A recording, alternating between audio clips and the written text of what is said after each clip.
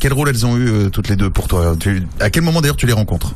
Ah, alors je les ai rencontrés, c'est tout récent. hein, en vrai, hein. Euh, ça date de cet été, fin été, plus vers août. On a commencé à travailler ensemble. Le premier son qu'on a taffé, c'était euh, Unfollow, Easy Money. C'est ça. Et euh, donc, ils font partie du projet. Et on s'est grave bien entendu au niveau de tout ce qui est top line, écriture, tout ça. En fait, euh, nos cerveaux, ils fusionnent entre nous. Genre euh, Exactement. les Total Spice. C'est ça. Genre, euh, Vous deux, c'est quoi votre parcours à toutes les deux?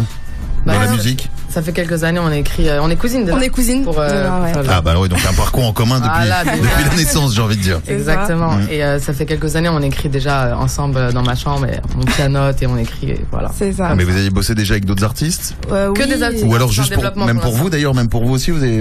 Euh, ouais, moi j'ai un projet d'artiste à Voilà. côté, mais on a quand même écrit un peu pour d'autres artistes en développement et euh, on fait notre Et Riles petit chemin aussi. comme ça quoi. Riles. Riles aussi, bon, on a écrit un son pour Riles aussi dernièrement. Mm. Planète Rap.